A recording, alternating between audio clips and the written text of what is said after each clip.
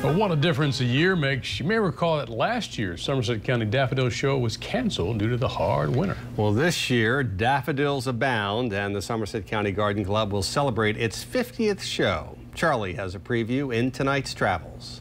In most seasons, this is in bloom by the first weekend in April. When the Somerset County Garden Club canceled last year's 50th daffodil show due to a dearth of daffodils, they made a declaration. We will have the same exact program next year, providing the weather is favorable next year.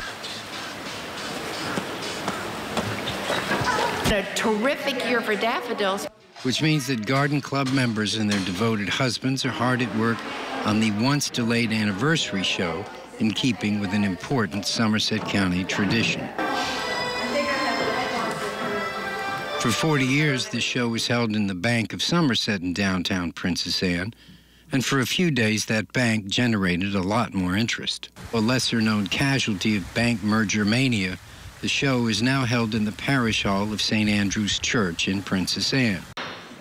But when it comes to daffodils, it's not the location, but competition that matters. It's going to be quite a show. It's going to be really lovely. We're going to have artwork and flower arrangements that depict their artwork, creative mass designs on these pedestals over here behind me, and they are all going to be Federated Garden Club of Maryland and Delaware judges.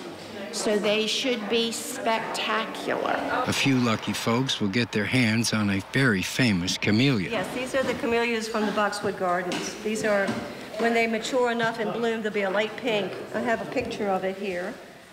What is she selling for $3? In beautiful Princess Anne, Maryland, it's Charles Paparella for WBOC News.